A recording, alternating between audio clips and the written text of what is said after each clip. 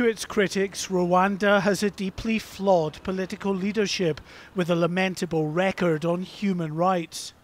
To others, including the British government, this is an intrinsically safe and prosperous country.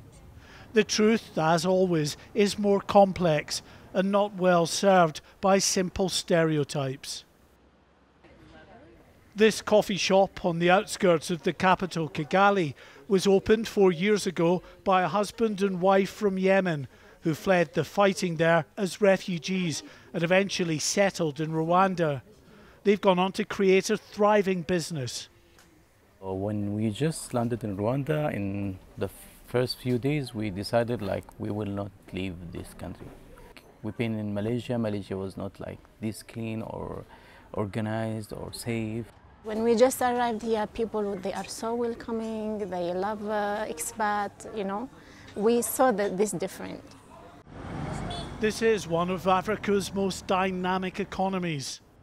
All the more remarkable given the genocide here less than three decades ago, which left 800,000 dead and millions displaced. Pierre Nyumbia's family fled Rwanda's civil war and eventually ended up in Canada. She's returned to be part of the regeneration, setting up a business that champions local arts and design. The fact so many here were displaced by the genocide has, she says, instilled a genuine compassion in many Rwandans for the plight of refugees. It's definitely welcome because I think for us it's skill sets that are needed.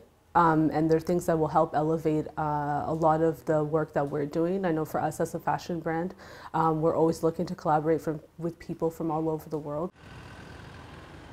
Rwanda's critics say its leaders care little for the plight of those displaced in neighbouring Congo, where it's accused of supporting rebel fighters there. Still, Rwanda is currently host to 140,000 refugees.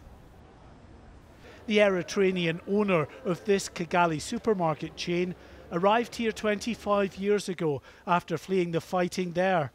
He was later joined by his brother, who decided to settle here rather than travel to study in the UK.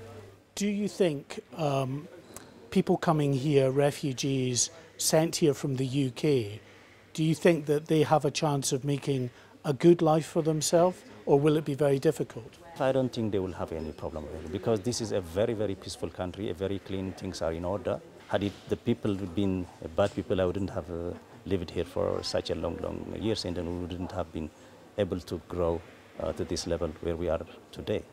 It would be wrong to suggest Rwanda offers the same level of opportunities and personal freedoms as the UK. But from what I've seen, it's clear there is still plenty of potential for those who end up here to make a good life for themselves and certainly enjoy greater freedoms than the circumstances they say they're fleeing allow. This is a fast developing country. It's not all the way there yet and certainly needs to do more to meet Western standards and human rights. But the country's supporters say it's rapidly moving in the right direction. Mark White, GB News in the Rwandan capital, Kigali.